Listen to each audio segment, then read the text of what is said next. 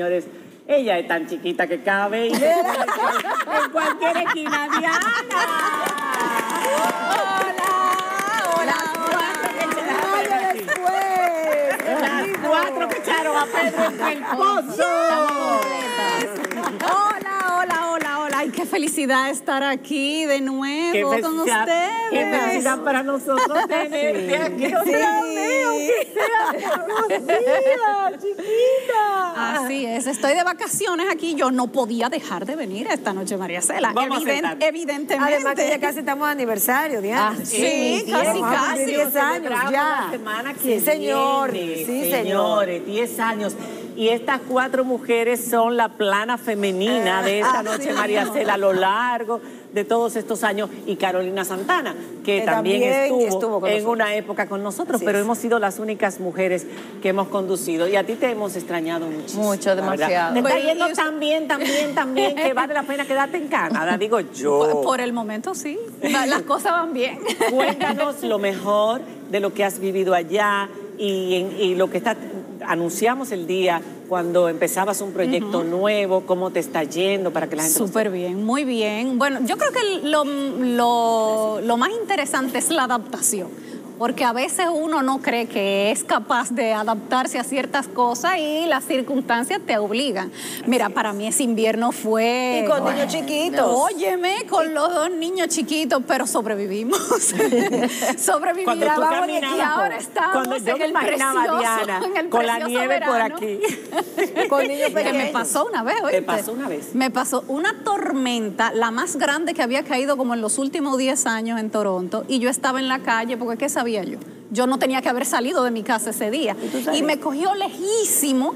Y señores, son suspendido todo, subway, autobuses, ¿Y cómo metro, llegaste? todos los carros quedados caminando. Yo caminé Con como por dos horas con la nieve que me, que yo, yo caminaba un día un pie y la nieve me llegaba hasta aquí más o menos. Ay, Dios mío, Diana. Pero bueno, ya, ya pasó el invierno, ya está. No, ahora, es- ahora está precioso. Ahora sí, divino, pero no, a pero el, poco. pero el invierno tiene su encanto también. Sí. Lo que pasa es que hay que descubrirlo. Amor, Nosotros estamos ahora- en ese proceso. es- En el primer año tiene su Claro, encanto, ya pero tiene, en el ya tiene un segundo año. Sí, sí, ya tiene un año. Jarrando, Bueno, buen pero qué maravilla poder estar las cuatro juntas Sí, así es. en el día de hoy y con todo lo que está pasando en nuestro país. Así es. Ustedes saben que a lo largo de los años nuestro trabajo también fue una gotita de agua en el océano, insistiendo y aportó eh, con su responsabilidad social, con su compromiso social, a que muchas cosas cambiaran y a que tuviéramos un ministerio público independiente. Y ahora lo estamos viendo y están las cuatro juntas en este momento. Yo voy a, a decir algo que yo lo comentaba en Camerino, que quizás es una de las cosas que necesitamos decir. Ustedes ya han visto con pruebas fehacientes. No diga que dicen y eso es lo que se estila. No, pruebas fehacientes. ¿Cómo se construye una maquinaria para desacreditar con la única, eh, eh, eh, con el único objetivo Propósito. de destruir reputaciones de personas serias, de personas que lo único que están haciendo es defendiendo el patrimonio público, el dinero de todos nosotros.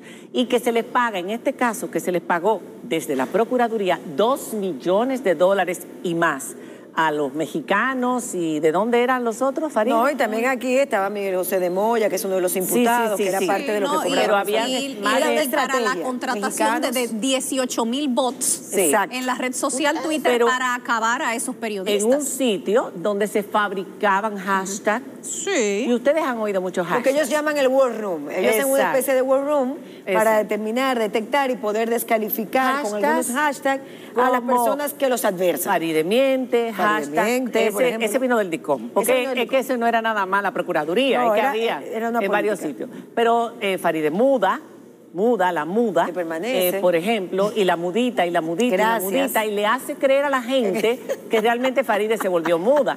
Que ahora ya no dice nada, que antes lo decía todo y que ahora no dice nada. En el caso tuyo, y lo traigo a colación Ah, sí. por tu caso, señores, Diana se fue con su marido y con sus dos hijos. Sí. ¿Qué es lo que ustedes han hecho? ¿Ustedes han trabajado para el gobierno? No, yo no trabajo para el ni- gobierno les ha pagado a ustedes absolutamente casa, nada, no. empleo en embajada, en consulado. Nada, yo no me fui de aquí con nada diplomático ni nada de eso. Yo Nada. no trabajo para el gobierno dominicano. Que no, sabes- que no sería un pecado, pero yo no trabajo para el gobierno Tú tu sabes dominicano. tampoco. las veces que debajo pusieron, ahí está Sí. la Diana Lora con toda su familia, la que, la que atacaba la corrupción aquí, con toda su familia, mantenida por el Pero Estado señores, la dominicano. gente cree que la única forma de emigrar De es, que te nombren, es que te nombren fuera. No, en y a ti, María sitio. Cela. No, señores, guayando la yuca. Y a ti, María Cela, y veces- ahorrando nuestro dinero y guayando Y la a yuca. ti, y en el caso de María Cela en particular, en ese momento comenzaron también a descalificar de que era una bocina del PRM, Ah, María Cela nunca ha pertenecido. Yo soy una bocina del PRM. y en esos momentos tan difíciles que vivimos aquí en el programa, eh, ven- venían a visitarnos personas, a darnos información, no sé si ustedes recuerdan, de cosas de que pasaban, y a veces salimos todas juntas porque sabían que nos estaban siguiendo, que nos estaban dando seguimiento, y denunciábamos la cosa porque entendíamos que era nuestro rol, y es nuestro Pero que rol lo hacerlo. interesante de ver expedientes como el de la. Operación Medusa es cómo queda al desnudo. Todo ¿Cómo eso. era que se hacía Sí, eso? exacto. Que esas son campañas pagadas. Y uno lo sabe, pero para que le quede todavía padre. más evidente. Sí, mi papá estaba en la lista. tu en la de lista, trabajo? sí, también. Y a, a- a mi A prima Patricia. Patricia Solano también. A Edith Febles, a bueno, Marino, a Alta Doña Gracia. Sí, a, a todos los sentir. periodistas incómodos para ellos. Qué bien se debe sentir tú viéndolo desde afuera, que el esfuerzo durante estos cinco Claro. años, desde que empezó la Marcha Verde, lo hablábamos el otro día, tú lo estás viendo desde fuera y viendo cómo va avanzando tu país Claro. en materia de democracia. Cinco años más. O más de cinco años, pero la Marcha Verde fue hace Desde cinco 12 años. eh, hasta el 16, nosotros en esos primeros cuatro años no había tanta guerra. Empezó ya al final. Porque comenzaron a salir ya. Exacto. Sí, Después pero salió de pero se puso- se puso- Pero después se salió feo, sí. Odebrecht, Pero señor. recuerden que incluso cuando salió de Brecht en Brasil, que nunca se me va a olvidar esa fecha, eso fue en diciembre del 2017, salió en un artículo periodístico en Brasil a través de una revista de allá. Hubo personas aquí relacionadas con el entonces procurador que decían, aquí le están dando asidero a informaciones que revela la prensa, la prensa de Brasil, que es tam- también muy cuestionada. Fueron de las primeras cosas que comenzaron para descalificar una investigación que ya estaba dando sus frutos en Brasil. Y ahí comienza todo esto y nosotros le dimos seguimiento. Y lo peor de todo este caso, lo peor, es ver, y yo lo decía el otro día en el hemiciclo, no solamente una clase política participando, a un sector privado de una nueva generación, Así de una nueva generación Pero, pero que aprendieron de sus padres. que aprendieron, evidentemente, que están confabulados para hacer ese tipo de acciones y sacar provecho personal, descalificando absolutamente todo lo político, pero para valerse de ellos y convertirse en lo que ellos recriminan en ese momento. Entonces, aquí hay una estructura mafiosa en el poder desde hace muchos años, que ahora que sale toda Y en esta el podredumbre empresariado. y en el empresariado. Que, oye, es que en si el no hay persona No. dispuesta a pagar extorsión, no puede haber extorsionador. Por supuesto. Si no hay persona dispuesta a pagar soborno, no hay sobornado. No hay sobornados. Lo que ¿Quién pasa es que es encontraron y encontraron y muchos que una estaban dispuestos social. a entrar en eso. Y El viejo poema, social. ¿quién es peor? ¿El que peca por la paga o el que paga por pecar? Señores, ese a la hora primer- de la hora es lo mismo. Este es el primer expediente en la historia nu- nuestra que hace un ministerio público donde investiga y saca a la luz a un sector privado totalmente activo en las acciones de corrupción, nada más y nada menos que donde, en la Procuraduría General de la República Dominicana, o sea, en el máximo órgano del Ministerio Público que está para arbitrar, para poder perseguir Para el, el delito, para el perseguir el nombre del Estado. Y Claro. eran los primeros que estaban precisamente violentando todos esos procesos. Pero yo dije todo esto y puse el tema. ¿Por Sí. qué? Porque hay mucha gente buena. Mucha gente Claro. que también quiere lo mejor para su país, gente que es honesta, gente que nunca ha vivido de prebendas, que nunca ha recibido beneficios de ningún tipo, porque aquí se ha normalizado. Hay que robar, aunque sea un poquito, si hubiera sido un poco no importa, no, ni un poco ni mucho, punto, no se puede El que se ir al Estado pincho se roba a robar. pesos, y usted en su casa lo sabe. Si alguien les roba a usted 5 pesos, 10 pesos, 20 pesos, es como si le robara mil. A la hora de la hora se va aumentando la ambición y fue lo que vimos a lo largo de los años. Pero yo ponía este tema porque toda esa gente buena se deja llevar, como no sabe cómo se maneja los entresijos de todo este mundo de las redes sociales, que antes era el chisme, antes eran los pasquines, antes era la llamada de uno a otro, la de, o- o sea, a mí cuando yo me fui fuera de aquí, me hicieron una campaña de que yo era un ogro, de que yo era una creída, de que yo no quería saber de los dominicanos, una campaña muy bien orquestada para dañar mi reputación. No había redes sociales.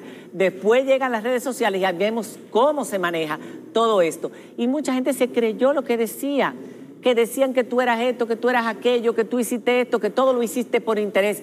Nunca hemos hecho lo que hemos hecho por interés. Y por eso yo he estado siempre al lado de las personas que han sido acusadas injustamente. Ahora bien, yo puedo creer que alguien es inocente en un momento, pero si ya yo después me doy cuenta que no lo es, no es verdad que por amistad yo lo voy a seguir defendiendo. Y yo creo que aquí lo hemos probado. Así que nada más que hablar, felices de empezar con este programa, felices de presentarles a Anderson Humor con las noticias de esta semana, modo de humor, felicitando a Alexandra, a la princesa de la casa que cumple años en el día de hoy. Un aplauso para querida. Alexandra. Siete años cumple Alexandra. Siete años. La princesita de la casa, mágica princesa que tiene el talentazo del padre multiplicado por la, eh, qué sé yo, enésima potencia. Disfrutemos de Anderson Humor. Adelante.